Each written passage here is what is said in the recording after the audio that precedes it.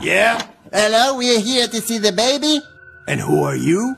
We are, uh, the three kings from Middle East. Yeah, right. In the middle of August. You guys think I'm stupid, huh? Herpes, streptococcus, papilloma. Get out of my sight before I get freaky. How the heck did he know it was us? I don't know, maybe the mother gave him the antibodies.